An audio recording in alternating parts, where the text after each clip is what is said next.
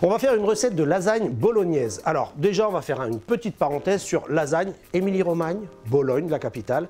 On va faire cette préparation avec les deux spécialités de là-bas. On va utiliser notre viande de bœuf et nos lasagnes. Vous allez voir, c'est assez simple. J'ai choisi cette recette parce qu'elle est très bonne, facile à faire et qu'elle regroupe vraiment tous les codes de la lasagne. On va faire avec une béchamel, pour ça j'ai le lait, le beurre, la muscade, un peu de farine pour la liaison, bien évidemment la sauce bolognaise, tomates, vin rouge, la viande, les épices, les légumes, indispensables pour vraiment donner du goût, le tout entre des couches de lasagne, parmesan à la fin pour gratiner l'ensemble. Vous allez voir, on va se régaler. La base de la sauce bolognaise, bien évidemment le bœuf, mais aussi les légumes. On va les couper en petits dés, céleri, carottes, oignons. Vous faites les dés les plus petits possibles. Allez hop, c'est parti. Sur vos carottes, on fait juste une première bande qui va vous permettre de faire une assise. Ça vous évitera de vous couper les doigts. Et c'est parti. Une fois que vous avez fait toutes vos lamelles, on va faire des petits bâtonnets. Et quand on aura fait nos bâtonnets, tout simplement, on va venir tailler les petits cubes. Pendant que vous faites ça, n'oubliez pas de préchauffer le four à 180 degrés parce que vous allez voir la sauce, on la cuit au four. Tous les légumes en petits dés, les oignons, le céleri, les carottes. J'ai déjà fait les carottes, j'attaque le céleri et ensuite on passe aux oignons. On va maintenant couper les oignons. Alors on va ou les ciseler ou les découper à l'éminceur, vous faites ce que vous voulez du moment qu'on a des petits dés. On va maintenant faire la sauce bolognaise. Alors, le bœuf, 15% de matière grasse minimum. Pourquoi j'ai choisi 15% minimum? Parce qu'en fait, on a besoin d'avoir le goût du bœuf, évidemment, mais le goût, il est aussi un petit peu dans la, la graisse qu'on va avoir dans le bœuf.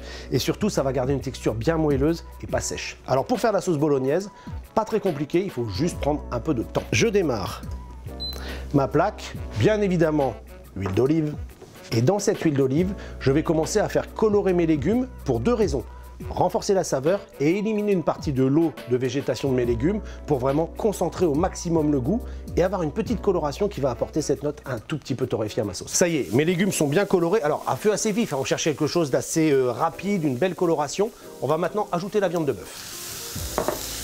Et là, on va faire colorer à nouveau la viande de bœuf 2-3 minutes on va pas la faire cuire totalement, c'est pas très grave si elle n'est pas complètement cuite, parce qu'après ça va cuire une heure au four. Ma viande est revenue. Maintenant, je vais ajouter le vin rouge qui va me servir à deux choses. Bien évidemment, donner du goût, mais aussi à déglacer les sucres de viande et de légumes qui sont au fond de mon récipient. On va laisser cuire pour l'évaporation complète du vin rouge. On cherche juste la saveur, la couleur, mais pas l'acidité. Bien évidemment, si vous voulez pas mettre de vin, vous mettez juste un fond d'eau ou bouillon de légumes ou bouillon de volaille. L'essentiel est de déglacer vraiment le fond de votre cocotte. Ajoutez dans ce cas un petit peu de concentré de tomate, ça vous renforcera la couleur de la sauce. Mon vin est évaporé, maintenant on va mettre le reste des ingrédients. J'ajoute l'eau, le petit bouillon, vous pouvez le faire avant ou le mettre directement dedans, vous n'êtes pas obligé de le préparer à l'avance. Vous ajoutez vos tomates, on va y mettre ensuite un petit peu d'ail, alors là on en a fait un peu beaucoup, mais on met juste, voilà. Là, là, il va être cuit parce que là, ça va cuire une heure. On peut garder la gousse ou l'enlever, c'est comme on veut. Et ensuite, on met les assaisonnements.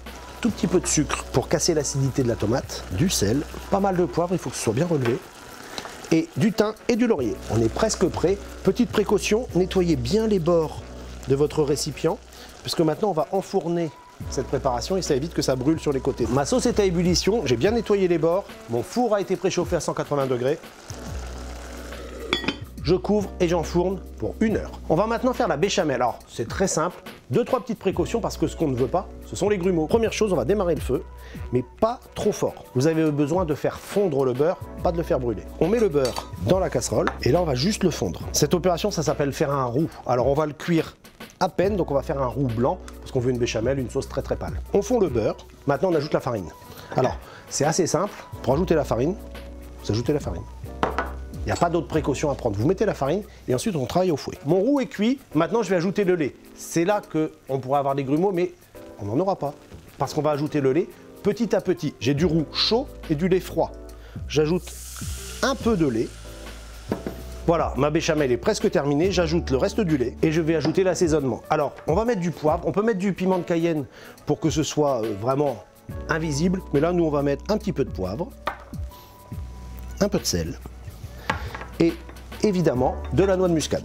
Et maintenant, on va poursuivre la cuisson. Dès que j'atteins l'ébullition, comptez une petite minute et la béchamel sera terminée. Ça y est, mes sauces sont prêtes. Ma béchamel est faite, ma bolognaise est faite. J'ai pris mes pâtes à lasagne et on va préparer les lasagnes proprement dites. Première chose à faire, huiler le plat. Alors si on n'a pas de pinceau, un petit morceau de papier absorbant, ça marche très bien. J'ai mis l'huile d'olive dans le fond du plat. Alors maintenant c'est un parti pris. Moi je commence par la béchamel. Si vous préférez commencer par la sauce bolognaise, aucun problème. Mais je préfère faire la béchamel, c'est esthétique. Je vais avoir du blanc, du rouge, du rouge, du blanc. Voilà, c'est tout. Vous allez voir que là ce qui est important, ça va être de mettre une épaisseur de béchamel régulière, mais surtout bien répartie dans le fond de mon plat. Vraiment bien aller au bord, parce qu'en fait, on ne va pas cuire les lasagnes, on va les poser directement entre les couches de sauce, et c'est l'humidité des sauces qui va cuire les lasagnes. On va maintenant ajouter une couche de lasagne. Alors, je prends mes pâtes, je la pose et je la décale légèrement pour être certain que tous les angles de mes pâtes sont vraiment prises dans l'humidité. Il me reste une petite bande de lasagne. Alors en fait, vous prenez vos pâtes, vous posez un couteau, quelque chose d'à peu près plat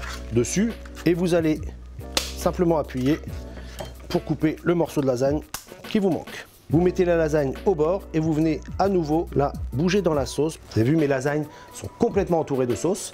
Là, je sais qu'elles vont bien cuire par le dessous. Maintenant, je vais rajouter ma bolognaise par-dessus. Alors la bolognaise, une heure de cuisson à 180 degrés.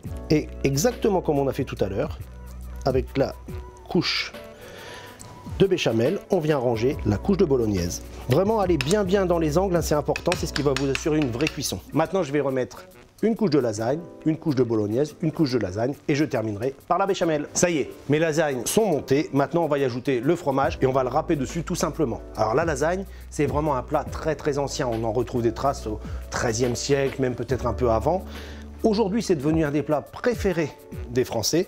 On est sur quelque chose de très facile à faire à condition de respecter les trois étapes, la sauce, la sauce bolognaise, le montage. C'est important de bien bien bien répartir ce parmesan mais qu'il soit vraiment sur toute la surface pour avoir d'une part un grain teint homogène mais ensuite le parmesan dans votre four il va euh, colorer, sécher un petit peu et c'est lui qui va limiter aussi l'évaporation du liquide de vos sauces. Donc ça va permettre d'avoir des pâtes vraiment très cuites. Vos lasagnes sont parfaitement cuites. Mes lasagnes sont prêtes. Je vais maintenant les mettre dans mon four à 180 degrés et je vais baisser le four à 160 degrés. On est parti pour 50 minutes, une petite heure de cuisson. On les laisse faire, on n'y touche pas, ça va se faire tout seul. Les lasagnes sont cuites, vous avez vu, 10 minutes de repos, je peux couper des belles parts, ça ne bouge pas. Donc attendez bien ces 10 minutes. Parfois vos lasagnes sont un petit peu sèches, en fait c'est parce que vous allez avoir peur de mettre de la sauce au départ. Ne vous inquiétez pas, on met les lasagnes, vous avez vu, on les a mises non cuites. Donc l'humidité va être absorbée par votre pâte, c'est ce qui va permettre à votre pâte de cuire. Donc pas d'inquiétude si quant au montage, comme vous avez vu tout à l'heure, c'est un petit peu liquide, ça fonctionnera très bien après cuisson.